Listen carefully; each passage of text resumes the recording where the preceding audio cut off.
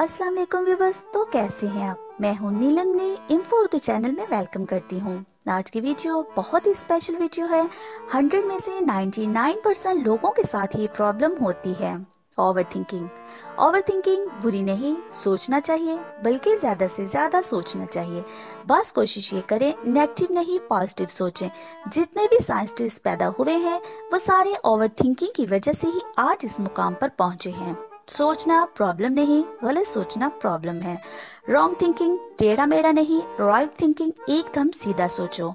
Over thinking problem 99 percent लोगों में पाई जाती है। इसमें ब्रेन एक्टिव हो जाता है। रात में जब सोने की कोशिश कर रहे होते हैं तो ब्रेन एक्टिवेटेड रहता है।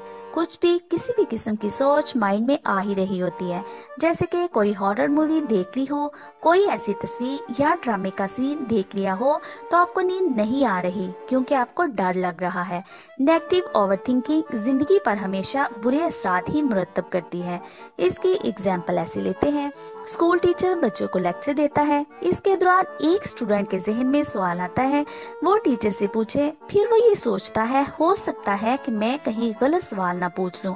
फिर सारी क्लास के सामने शर्मिंदगी उठाना पड़े, जबकि साथ बैठा स्टूडेंट उसकी सोच से बुरा सा सवाल पूछता है और उसका जवाब भी तलब कर लेता है। इन दोनों में फ़र्क क्या हुआ?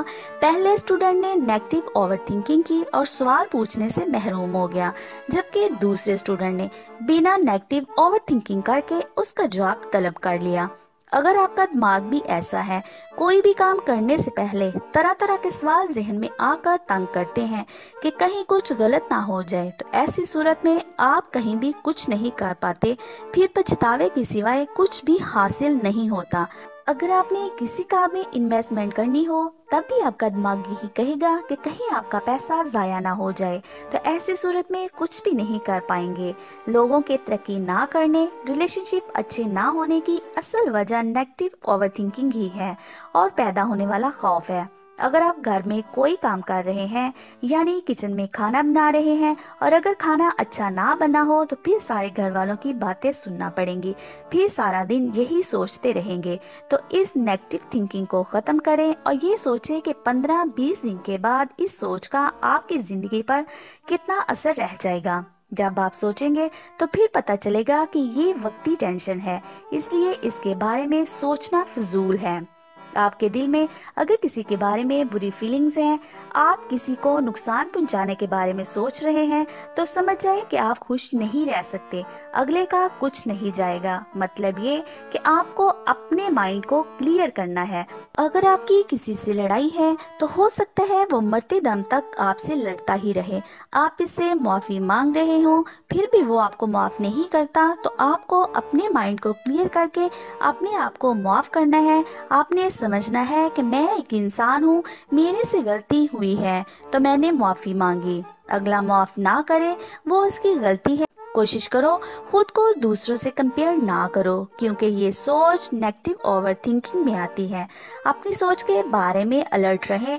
आपको अंदाज़ा होना चाहिए कि आप क्या सोच रहे हैं। अगर आप नेगेटिव सोच रहे हैं तो उसको छोड़कर आने वाले वाक्यात के बारे में सोचें। ज़्यादातर हमारे ख्याल और सोच यही होती है, अगर हम फला काम ना कर पाए तो हमारे साथ क्या होगा?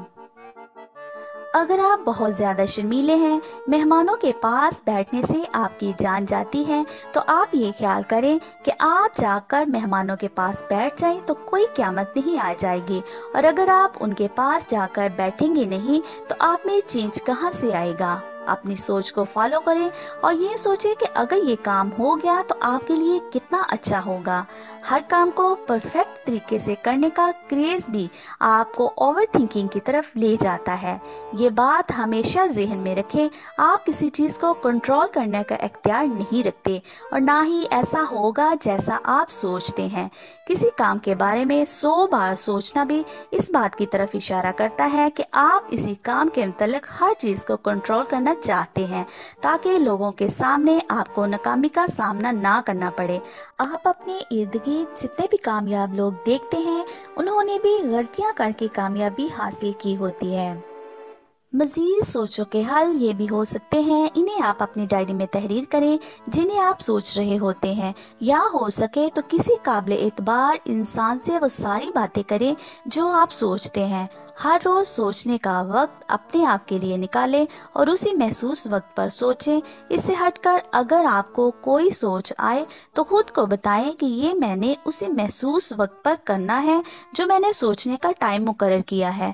इससे आपका जहन सारा दिन सोचने के बजाय एक खास वक्त में सोचने का आदि हो जाएगा। फॉर एग्ज़ाम्पल जैसे हमारा स्टमक महसूस वक्त पर भूख महसूस करता है। वीडियो अच्छी लगे तो कमेंट में अपनी राय बताना मत भूलिएगा। अल्लाह हाफिज़।